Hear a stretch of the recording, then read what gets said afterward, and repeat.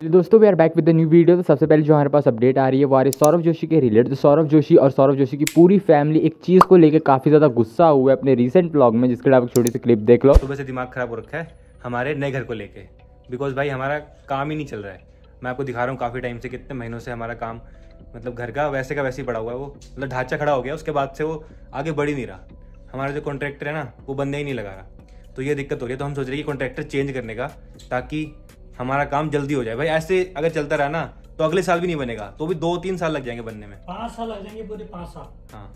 तो बस हम चाह रहे हैं कि अब कौन नेक्स्ट जो अपडेट हमारे पास आ रही है वो आ रही है लक्ष्य चौधरी के रिलेटेड तो लक्ष्य चौधरी सभी इन्फ्लुएंसर को ट्रोल करते हुए दिखे जो अपनी मर्चेंडाइज लॉन्च करते हैं। I can't believe this guys चार साल की मेहनत के बाद हमारा ड्रीम बिज़नेस लॉन्च करने जा रहे हैं हम। हम लोग चाइना तक गए प्रोडक्ट क्वालिटी देखने फैब्रिक क्वालिटी देखने। और मैं शुरू से चाहता था कुछ ऐसा बनाए हम लोग कि हमारी फैमिली भी उसका पार्ट बन सके। सो so फाइनली हमने लॉन्च किया अपनी क्लोथिंग ब्रांड यहाँ पे वेबसाइट का लिंक और पेज का लिंक मिल जाएगा। मुझे भरोसा नहीं हो रहा है कि चार साल ज्ञान पेलने के बाद इंटरनेट पे सबकी कमाई खाने के बाद मैं आज कपड़े बेच रहा हूँ, इतना यूनिक धंधा।